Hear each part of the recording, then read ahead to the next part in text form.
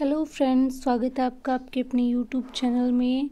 And आज हम जो है पुनर्बलन अनुसूची की बात कर रहे हैं। हमने व्यवहारवाद के अंदर स्कीनर द्वारा दिया हुआ क्रिया प्रसूत अनुबंधन का सिद्धांत हमने पढ़ा था, लेकिन उसके अंदर हमने पुनर्बलन अनुसूची के बारे में ज़िक्र नहीं किया, क्योंकि मैं वहाँ पे आपको सिर्फ़ और सिर्फ़ स्कीनर के सिद्धांत के अबाउट बताना चाहती थी, क्योंकि वो सिद्धांत इम्पोर्टेंट है, उससे क्वेश्चन बहुत बार बनता है।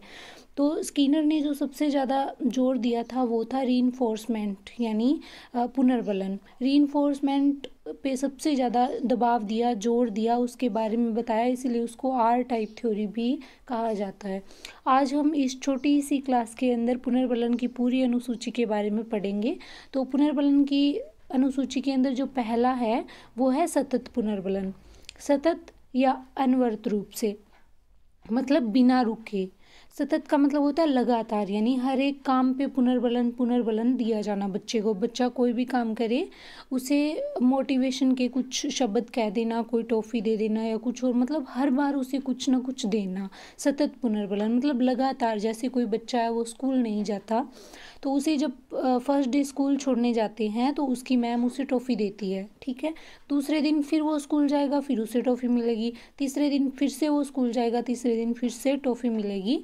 तो ऐसे लगातार जितने दिन वो स्कूल जाएगा, उतने दिन उसे रोज़ ट्रॉफी मिलेगी तो उसके बाद बच्चा उस चीज़ से बोरियत फील करने लगेगा।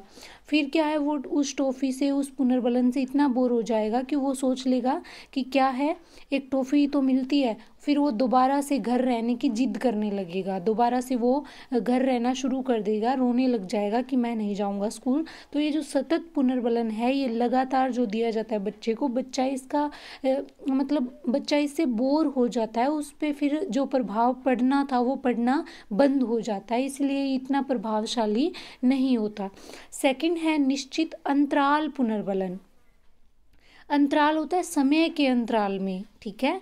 जैसे कोई बच्चा काम कर रहा है क्लास के अंदर, अपने काम में व्यस्त है तो उसे हर पाँच मिनट बाद उसे पुनर्बलन दे देना, या हर दस मिनट बाद दे दे देना, या पीरियड वाइज चालीस मिनट के बाद तीस मिनट के बाद उसे दे देना या फिर एक हफ़्ते के बाद उसे पुनर्बलन दे देना, जैसे एक बच्चा है, एक अपनी मतलब घर में बढ़िया स्टडी करता है, बाहर नहीं जाता, घर में ही खेलता है और जिद नहीं करता तो उसके पापा जो है, उसे एक हफ़्ते के बाद क्या है, पुनर्बलन में कुछ जैसे बाहर घुमाने ले जाते हैं, या कुछ ऐसा देते हैं जो बच्चे को अच्छा लगता है तो ये होता है निश्चित अंतराल, यानी समय के अंतराल में जब पुनर्बलन दिया जाता है तो उसको बोलते हैं निश्चित अंतराल पुनर्बलन, ठीक है?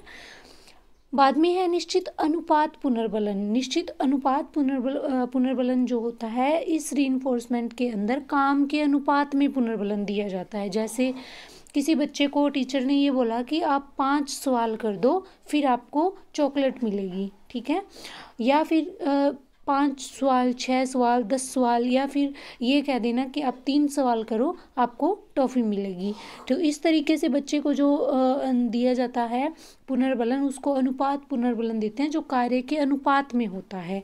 जैसे किसी बच्चे को, कोई बच्चा फ़ोन ज़्यादा चलाता है तो उसकी मम्मा ने उसको कहा कि आप एक घंटा बाहर खेलो, आउटडोर गेम खेलो, फिर आपको क्या है, चॉकलेट मिलेगी, आप जो चाहोगे वो आपको बना के दूँगी। तो वो होता है निश्चित अनुपात, ठीक है?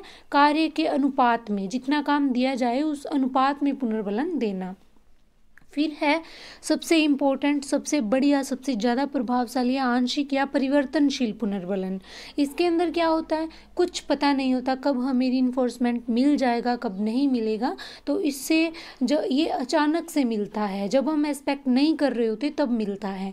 जैसे कोई बच्चा है, वो अच्छा काम करता है वो हर बार अच्छा काम करता है, लेकिन टीचर कभी उसे पुनर्बलन देती है, कभी नहीं देती, ठीक है? तो बच्चे को नहीं पता होता कि इस बार उसने अच्छा काम किया तो पुनर्बलन मिलेगा। जैसे एक बच्चा है, उसने थोड़ा सा अच्छा राइटिंग में कुछ लिख के दिखाया तो मैडम ने पुनर्बलन दे दिया। दूसरी बार फिर से वो अच्छा पुनर् काम करेगा तो उसे टीचर पुनर्बलन नहीं देगी। तीसरी बार, दूसरी बार वो सोचेगा, शायद मैंने इस बार अच्छा नहीं किया। तो नेक्स्ट टाइम फिर वो और ज़्यादा अच्छा करने की कोशिश करेगा तो उसे पुनर्बलन टीचर फिर से देगी। तो इस तरीके से जो है टीचर बदल बदल के मतलब कभी देती है पुनर्बलन, कभी नहीं देती थी तो बच्चे को ये आ, मतलब इंतज़ार रहता है कि कब शायद उसे पुनर्बलन मिल जाए तो वो हर टाइम अच्छा करने का प्रयास करता है। तो ये पुनर्बलन जो है लास्ट वाला सबसे प्रभावशाली है और ये जो है इससे बच्चा जल्दी ही बोर हो जाता है सतत पुनर्बलन से। लास्ट में जो है ये पुनर्बलन की जो अनुसूची है ये पाक्षिक अनुसूची के अंदर अंतर्गत आते हैं सतत के अंतर्गत नहीं आते। ठीक है, ये पाक्षिक अनुसूची है।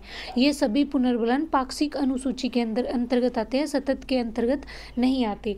सतत अनुसूची जो होती है, वो उसके अंदर पुनर्बलन होते हैं, जो लगातार मिलते रहते हैं। मतलब बच्चा हर बार हर बार काम करेगा, हर बार उसे पुनर्बलन मिलेगा। सही, गलत, कुछ भी करे, उसे पुनर्बलन मिलेगा। वो नेगेटिव भी हो सकता है, वो पॉजिटिव भी हो सकता है। अगर अच्छा काम करेगा तो पॉजिटिव पुनर्बलन।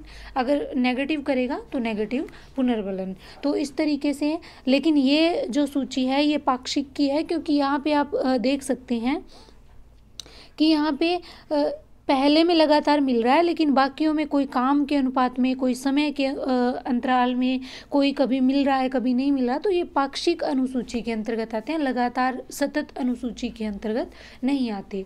तो ये बहुत ही इम्पोर्टेंट है, क्योंकि जो एग्ज़ाम में क्वेश्चन बनता है ना, वो इस तरीके से बनता है कि पूरा एक उदाहरण देते हैं कि इस तरीके से बच्चे को टीचर ने बोला कि पाँच मिनट सवाल करो तो फिर बच्चा करता है, फिर उसे टीचर पुनर्बलन देता है तो वो कौन से पुनर्बलन के अंतर्गत आता है।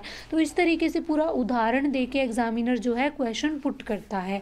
तो आज ये अनुसूची जो है हमारी हमने कंप्लीट कर दी और ये बहुत ही इंपॉर्टेंट थी। मिलते हैं नेक्स्ट वीडियो के अंदर नेक्स्ट सिद्धांत के साथ। तब तक के लिए वीडियो को शेयर करें चैनल को सब्सक्राइब करें। Thank you